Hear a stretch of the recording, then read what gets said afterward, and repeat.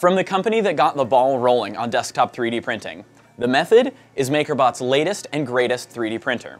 From its rigid construction and actively heated build chamber to the fully removable flexible build plate, the Method aims to make the 3D printing process easier than ever before. Let's break it down.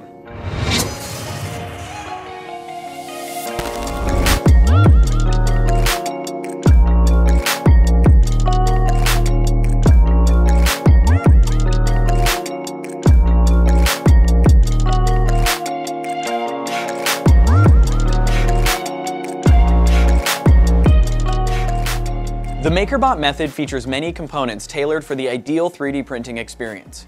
Underneath the sleek outer shell is a rigorously tested and structurally optimized metal frame. This ultra-rigid frame was designed with the sole purpose of stability in mind. Less flexing means more consistent prints, more accurate parts, and fewer failures overall. Instead of a traditional spatula for print removal, you can simply flex the spring steel build plate and parts will pop right off. No tools required. Each of the direct drive print heads utilizes a 19 to 1 gear ratio for high torque, an exceptionally long heater block for quick heat up times, and are easily removable for maintenance. What makes the MakerBot method stand out from the hundreds of other desktop 3D printers is its actively heated enclosed build chamber. Where many others rely on a passively heated build chamber using only the build plate to warm the air, the method utilizes twin blower fans to circulate actively heated air. With a maximum air temperature of 60 degrees Celsius, you can comfortably 3D print knowing that the material stresses inherent with FDM 3D printing are controlled, reducing first layer warping and splitting. The MakerBot method has a 5-inch capacitive touchscreen, which is an intuitive and easy-to-use interface for users of all experience levels. A small camera within the build chamber allows you to remotely check up on your 3D prints, giving you peace of mind that everything is working perfectly.